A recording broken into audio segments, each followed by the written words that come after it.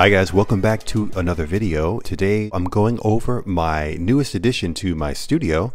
It's the HP EliteBook 820G4 and I've converted this into what's known as a Hackintosh. To me a Hackintosh is a great affordable way to get a powerful system into your studio on a budget. Uh, these Hackintoshes are quite capable. This EliteBook is equipped with an Intel dual core i7 processor. For the price, I find it to be plenty powerful and plenty capable to handle all of my needs, whether it's graphics editing, music production, or DJ work. One of the best advantages to having a Hackintosh over a standard Apple issued hardware is the amount of ports available on these laptops. This EliteBook is equipped with a plethora of ports Starting from the left, we've got a USB Type-C port, and this is not a Thunderbolt. It's just a standard USB 3.1 port, but with the USB-C connector. So you get the 5 gigabytes per second connection there. Uh, following up, we've got the display port, an audio jack 3.5 millimeter for audio out, a standard USB 3.1 port, and next we've got the Ethernet port, which I find quite handy. Uh, direct connection for me works so much speedier than an Wi-Fi connection, so I always go with the direct plug-in. And then we've got the micro SIM card, and then your standard DC input for the power adapter.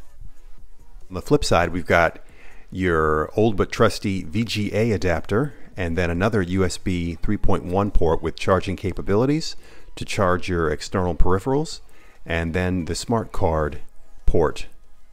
So right there you've got an advantage, you've got plenty of ports, no need for dongles or attachments or adapters. You can plug pretty much anything you need in right here on the EliteBook. In addition to all the ports, I've decided to extend my setup and add four more ports using the Anker 4-port USB 3.0 hub. It's a trusty part of my gear. I find it quite reliable and handy in my studio. Taking a look at the laptop as it sits in the studio, you see I've got all the ports utilized. Starting from the top, we've got USB-C connected, and then down from that, I've got the HDMI to DisplayPort adapter. The monitor I'm running uses HDMI, so I use this adapter to get the connection up and running. Below that, you've got my Anker 4-port USB hub using the USB 3.1 port, and then below that Ethernet, and then the power adapter. Taking a look at the interior of the laptop, you can see I've got 32 gigabytes of G.Skill Ripjaws RAM installed. I always like to max out the RAM. I do pretty intensive graphic design projects, photo editing, video, and also music. So it's always nice to have that overhead and extra RAM if you need it. This can be picked up at a pretty affordable price, and that's one thing I really like about the EliteBook G4. It can accept 32 gigabytes of RAM. If you were to get the cheapest MacBook capable of 32 gigabytes, you're spending so much more than what it cost me to set this laptop up. Just below the RAM, we've got the Intel 8265NGW Wi-Fi Bluetooth card installed. I really like this card. It works well with Hackintosh. I'm able to get Wi-Fi and Bluetooth up and running using a couple of kexts, which I'll cover a little bit later in this tutorial. And the Bluetooth spec is 4.2, which allows you a little bit more range and speed than a 4.0 card. So I'm really happy with the addition of this card to the setup. You can find this card over at Amazon. It's compatible with quite a wide range of laptops, so do your research, but I highly recommend this card. It works well with Hackintosh and it's delivered me the results I need when connecting Bluetooth peripherals or accessing the internet while I'm on the go. One of the cool additions to this laptop, I decided to add an antenna to extend the range of the Bluetooth so that I can move around uh, using my Bluetooth headphones and get a clean signal no matter where I am in the house. I can even walk outside and keep the music playing. You can pick up a standard antenna like this on Amazon. I've included a link in the description to the antenna and adapter cable that should work with the Intel card. And this is just excellent. The range is extended and you don't have any issues getting a clean signal no matter where you are within your setup and it's highly recommended. You can see here I've made some modifications to the interior to get the antenna up and running. I had to drill a small hole in the bottom of the laptop and then I've got the antenna connected on the outside and you're able to easily fasten and unfasten depending on your use case. When I'm in the studio, I've got it mounted in this wonderful 12 South laptop mount, and then I can just position the antenna to be most useful and give me the most range in the area that I'm working in. So below the Wi-Fi card, you can see I've got the Western Digital 1 terabyte NVMe PCIe drive installed. This drive is an excellent drive had no issues. It gives you plenty of speed, plenty of storage, and it runs at the PCIe 3.0 spec, and it's got four lanes as well. So this drive is highly, highly recommended. If you notice there's a space below the drive, and to the left you see an, a SATA connector. This is actually a space to install a 2.5 SATA drive. So you can actually have dual hard drives installed in this laptop, which I find extremely useful and impressive for a laptop of this size and this budget. Now I've left the bay empty to make room for the antenna addition, but you can, if you decide to opt out of the antenna, you can actually install both drives. It's a really tight fit, but I've actually run that setup and it works quite well with no issues at all. You can find the Western Digital SN730 drive over at Amazon. It's quite affordable and highly recommended. Inside the drive enclosure, I'm running a Seagate 2 terabyte drive. It's the 6 gigabytes per second SATA 3 standard, and I find this drive to be quite reliable and affordable. And you can pick that up at Amazon. You can pick up these enclosures pretty much anywhere from eBay uh, or Amazon. I found one at Amazon that should work for your needs. It's affordable. It's only 10 bucks and it's a quick and easy way to expand the storage of your unit. These are also great for mobile applications if you're on the go. Just pop it in your laptop bag and you've got your expanded storage ready to go.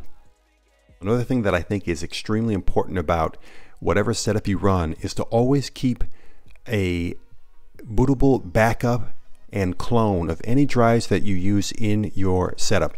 For me, it's really important because I've had issues where I might install a bit of software that's corrupted or you might have a crash or something happen where you have data loss. And so having a bootable backup and backups of all the drives that you have in your system is just essential. So I've got one backup for the internal drive, which is the smaller enclosure. That's the PCIe NVMe enclosure. And then the red enclosure is a backup of the 2.5 drive. So I've got all my media backed up on the red drive, and then my system is backed up on the PCI drive with the NVMe enclosure. You can find the NVMe enclosure that I use right here on Amazon. It's the TBT SSD enclosure, and it's extremely lightweight and functional. And the enclosure has got fins there for the heat distribution so it doesn't get hot some of the other drive enclosures that I've tried in the past got extremely hot, so it's important to get one that has proper cooling to keep your drives cool and running at optimal speeds. Moving over to the graphics side of things, I'm using a DisplayPort to HDMI adapter. I just recently added an ASUS 1080p monitor to my setup and so the EliteBook standard has a DisplayPort coming out. And so I bought this adapter so I could connect to the Asus monitor. You can pick one of these up on Amazon. It's pretty affordable and it allows you to be flexible in connecting to your external graphics and displays. Moving up just above the DisplayPort, I've decided to add a digital audio card to my setup. This card is quite incredible. It attaches right here to the USB-C output and it allows me to connect my two M-Audio BX5 monitors and also the subwoofer seamlessly to my system and it's got a power on switch. I've included a link to a similar card that you can find at Amazon. In the rear I've got an adapter connected from RCA to quarter inch for the tops. And then on the front, you can see I've got the 3.5 millimeter out connected to an adapter that runs over to my Klipsch subwoofer. So it's a really affordable and streamlined way of getting audio connected to the laptop. And this card can be taken on the go. It's bus powered, so it's extremely convenient and essential if you're working on music or would like to connect to an external audio setup. I found a card that pretty much offers the similar functionality of the card that I use. This is the Douk Audio Q3 uh, DAC, and you can find that over at Amazon. It's got knobs on the front for treble, bass, and volume, and also your headphone jack out of the front, and then RCA and coaxial and optical in the back. So you've got quite a few ins and outs. That should be a nice addition to anyone's audio setup. So moving on to the software side of things, I'm running a Hackintosh setup as I mentioned in the beginning, and that's your ability to install macOS operating systems on PC hardware. That is hardware that's usually uh, configured to run Windows. So using this incredible guide by RehabMan, I was able to get this Hackintosh EliteBook up and running with little effort. I highly recommend this EliteBook series if you'd like to jump into Hackintoshing, these EliteBooks are quite affordable and you can get 99.9% of the functions and features working seamlessly with uh, Mac. And it's a relatively trouble-free experience once you get up to speed with the methods of Hackintoshing. I've included a link to this guide over at tonymacx86 and take a look, you know, read through and you should be able to follow these steps and get your EliteBook up and running in no time. So the guide calls for the use of a different Wi-Fi Bluetooth card, but as I mentioned in the intro, I decided to go with the Intel AC Wi-Fi Bluetooth card. And so you need these kexts right here in order to get the Intel card working. I've included a link in the description to these kexts and guides. And if you follow these, you should be able to get your Intel and Wi-Fi up and running with your EliteBook in no time flat. So one of my favorite things about running a laptop as the heart and brains of my setup is the portability and convenience. So I could have the studio set up and then when I'm ready to head out for a gig, unplug, shut everything down, and then I'm ready to transition right over to my DJ setup. And this laptop is so lightweight. As I said, this is the 820 G4. This is the smallest offering from HP.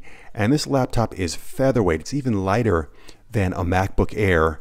And like I said, it's got so many more ports and functionality than a MacBook Air would offer. So that's why I decided to go with the HP EliteBook 820 G4. This EliteBook handles all aspects of my workflow from music production, I can get multi-track productions going, MB with my media playback, media server, I can do some light gaming, and I'm also able to do some light video editing. The Intel HD 620 card, it's not a powerhouse, but it's quite capable of doing some basic small video editing projects, and I actually edited this video on the 820 G4.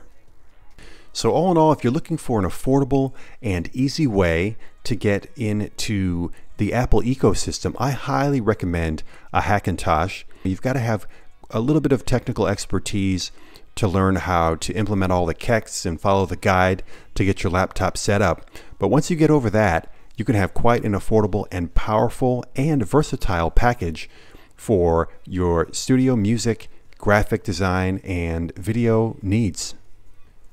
Thanks so much for tuning in. This has been an incredible experience for me, and I hope it will shed some light for you on the world of Hackintoshing. I highly recommend the EliteBook 820 G4. If you take a look down in the description, I've included links to each of the components that I use and also a link to the Hackintosh guide. Please feel free to like, subscribe, and come back for more videos. I've got so much more on the way, and we will see you in the next one.